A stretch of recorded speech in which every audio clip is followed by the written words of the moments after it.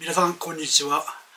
今日はですねまあね白 V と言われるような、まあ、竹 V 横 V でも構いませんけどね。それのですね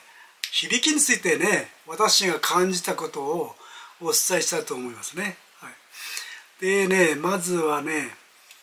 普通ね篠 V の場合は篠 V と言われてだけですからねこのように篠だけで作られておりますよね。ところが最近ではこマダケでね作られている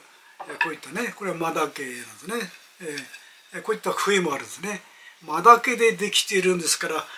まあね忍ぶとは言いませんね。篠だけでできているから忍ぶというようなね名称がついているようですからマダケの場合はねまままぶいですかね。ねまあ、神戸いやまあいろいろね呼び名はあるかと思いますけどもね。まあこのようにね忍ぶと、まあ、間だけでできた笛なんですけどね。この違いですね。違いはねやはりあの響きですね、えー、この間だけの場合はね肉が厚いんですね、えー、ですから当然ねあの音全体が重くなるというかね、まあ、もちろん、えー、肉厚の分これ調理数も難しくなるんですけどね。間だけで作った笛はね、まあ、自分で楽しむ分においては作っておりますけども、まあ、販売用には作っていませんのでね。と言ってもね、えー、たまにこう作ってねあるいは有名不一さんが作ったのをね、えー、試しているんですけどもねやはりある程度ですね吹き込みが強くなければっていうよりどうなんですかね吹き込みはあんまり関係ないような感じがしますね。だからこの竹の中をですねかなり削るっていうかね薄くしているような感じが受けるんですね。これなどはまあね有名な富士山が作ったものになりますけども結構太くてね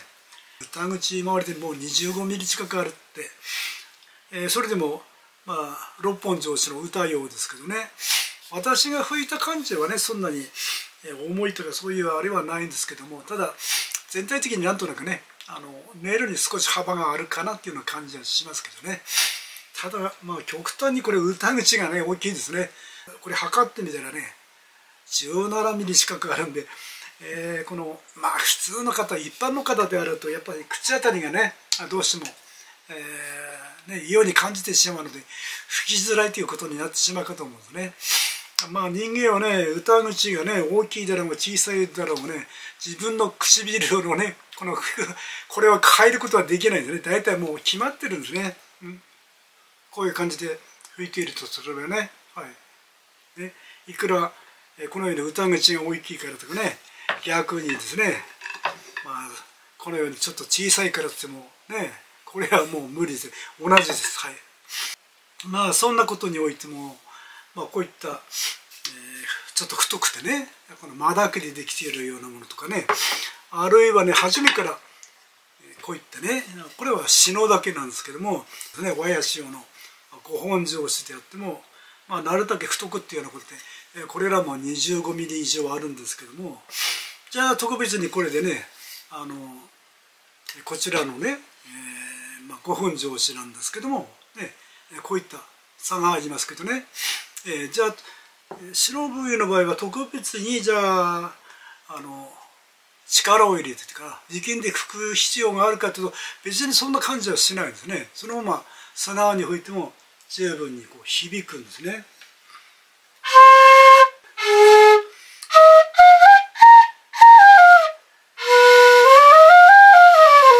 でこうこうなんていうかね、えー竹が太い時あってこう歯腹のあるネイルとかねそんなような感じ受けますけどね、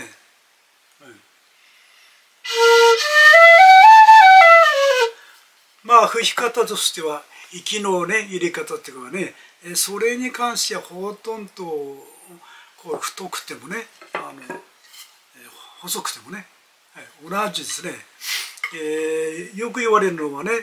こういった太くなると肺活量がかなり必要じゃないかとかね。大変じゃないんですかって言われますけどね。肺活量もね尺八と違ってほとんどもうなんか関係ないような感じなんですよ冬を服にあたってもねそんなに肺活量はあんまり関係ないしね、ここにこのような尺八もありますけどほとんど。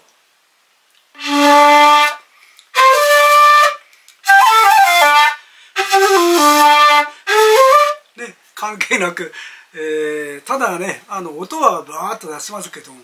長く伸ばすっていうのというとねやはり全体的な量が必要になりますのでねこれは大変になるかと思うんですけども、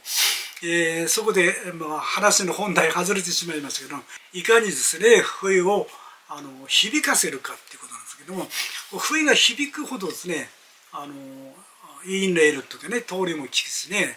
えーえー、そうなんですけどもほとんどの方はね思いっきり吹かないとこの響かないっていうそういうイメージを持ってるんですね。力いっぱいとかね力んでて頑張ってってね。そうやると、えー、これを言ったあのまあ忍ぶあるいはこれ尺八ね。これを含めたあの竹笛というのは響く音にならないんじゃないかと思っている方がほとんどじゃないかと思うんですけども実はねこの尺八でねご覧いただいているようにですね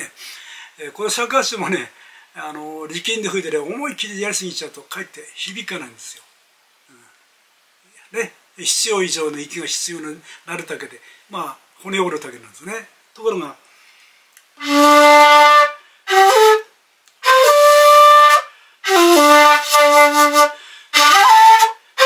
あの村行きのようにね尺八の場合まあ息でファーッとねあの村行きって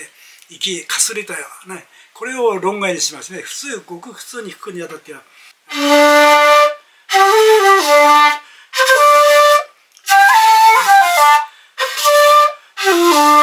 でほんならね力んで吹く必要なんですね。えー、というようなわけでね横笛ですね。横笛もですねさこの先ほど紹介しましたこれ五本上司のここ太ものですけどねこれも同じでねあのそんなに力まなくても軽く吹いた方がかえって響くんですね。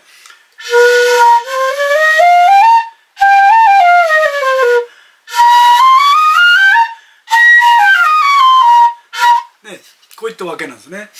ですからねこういった竹笛を吹くにはねまあなんていうかね必要以上にあの力んでっていうかね頑張って吹く必要はないと思ってるんですね。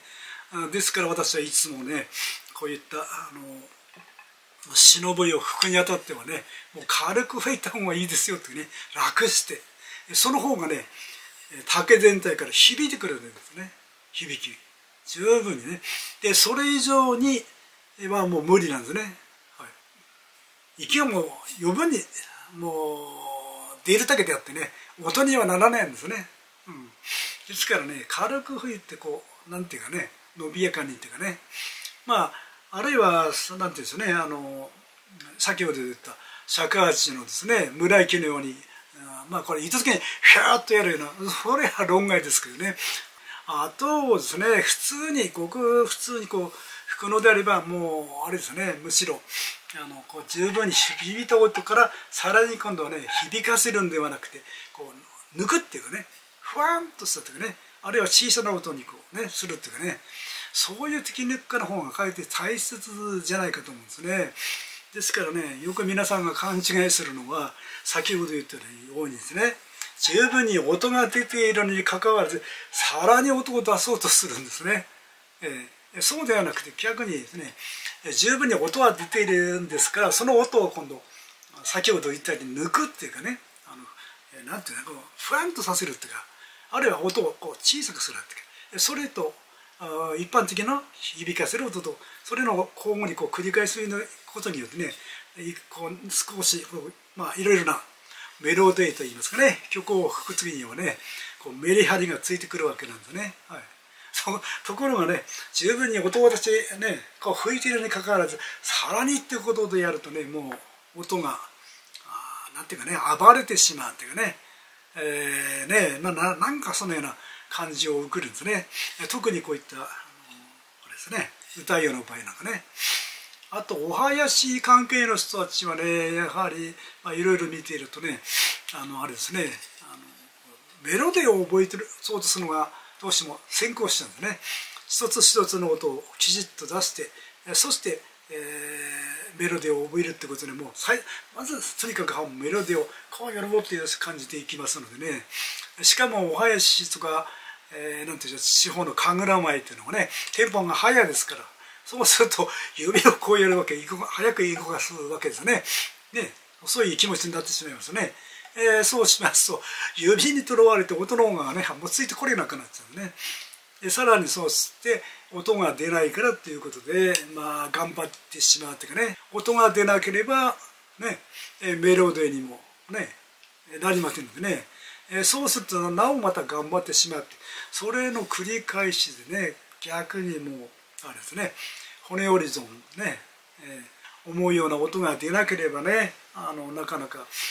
曲を覚えるということまで進めませんのでね、えー、そうすると挫折をしてしまう人が結構いるんですね。えですのでね私はね常々皆さんに言ってるのはまずねあの歌行とかね,、えーね、あるいはお囃子用に関わらずねまず一つ一つの音をねきちっと出せるようになってそれからメロディーをやりましょうってね、えそういったことをね言ってるわけなんですね。はいえそういう中においても、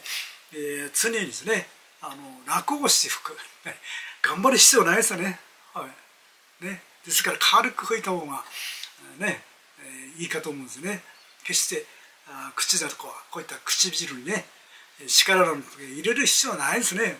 はい。えー、そんなことをやらなくても十分にね、えー、音は出ると思うんですね、えー、大観の